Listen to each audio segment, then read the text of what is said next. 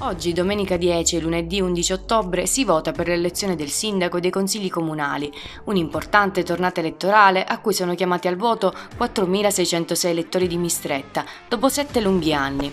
Seggi aperti questa mattina a partire dalle 7.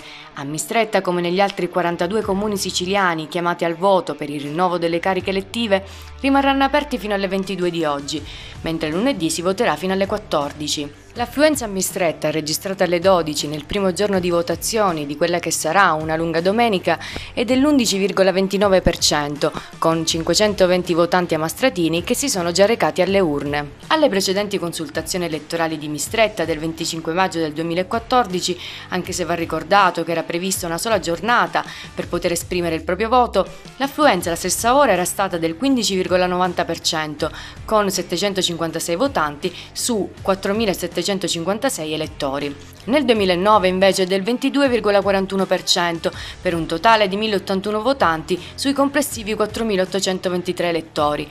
Unica rilevazione di quel 6 giugno in cui i cittadini amastratini si recarono alle urne a partire dalle 15 e per tutta la giornata del 7 giugno del 2009. Sui Nebrodi, oltre a Mistretta, si vota anche a Capodorlando, Caronia, Ficarra, Galatima Mertino, Patti, Gioiosa Marea, San Marco d'Alunzio e Sant'Angelo di Brolo.